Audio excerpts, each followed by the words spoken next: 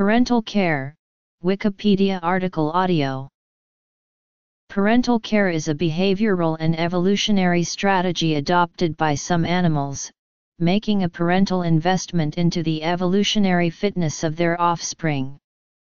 This strategy means that more effort is spent on a relatively small number of offspring to give each of them a high chance of surviving to reproduce.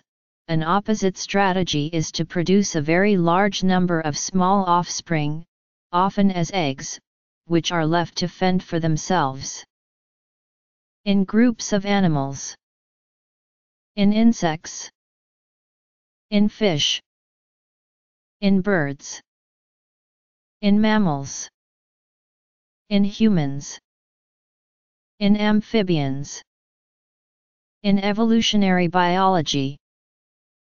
Parental care is seen in many insects, notably the social insects such as ants, bees, and wasps, in certain fishes, such as the mouth brooders, widely in birds, and especially widely in mammals, which share two major adaptations for care of the young, namely gestation and production of milk. Some insects, but especially the Hymenoptera, invest substantial effort in caring for their young. The type and amount of care varies widely. Solitary wasps such as the potter wasps build nests for their young, provisioning them with food, often caterpillars, caught by the mother. The nests are then sealed, and the young live on the food until they leave the nest as adults. In contrast, social wasps and honeybees raise young in substantial colonies, with eggs laid mainly by queens, and the young cared for mainly by workers. Outside the Hymenoptera, parental care is found among the burying beetles and the magnificent salt beetle. Subdued forms of parental care are also seen in the Lepidoptera, as in butterflies that lay eggs where the offspring will be able to feed. Crickets have also been known to lay eggs in optimal environments for the young. Many species of Hemiptera take care of the young. In the Belostomatidae family there are examples of paternal care, for instance in the genus Abedus. Several different groups of fish have evolved parental care. The young may be guarded by either parent.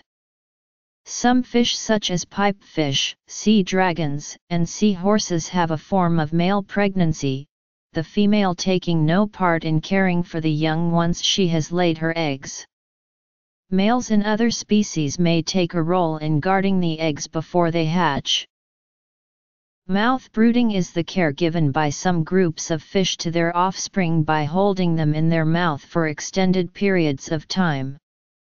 Mouth brooding has evolved independently in several different families of fish including the cardinalfish, sea catfish, bagrid catfish, cichlids, snakeheads, jawfishes, gouramis, and arowanas. Birds are distinctive in the way they care for their young.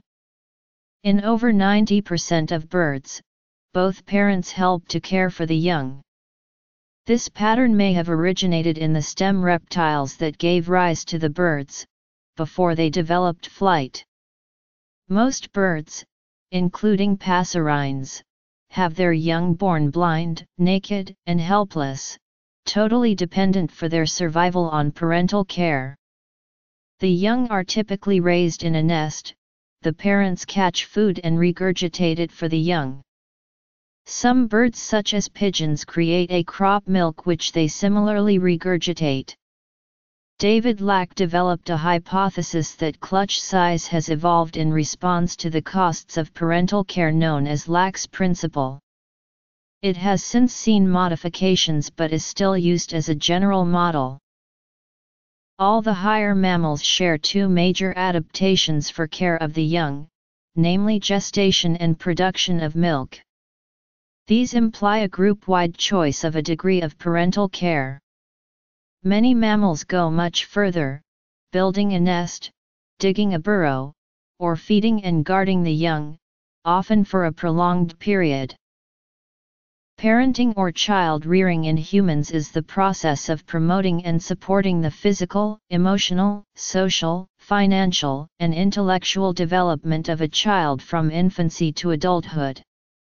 This goes far beyond anything found in other animals, including not only the provision of food, shelter, and protection from threats such as predators, but a prolonged period of support during which the child learns whatever is needed to live successfully in human society.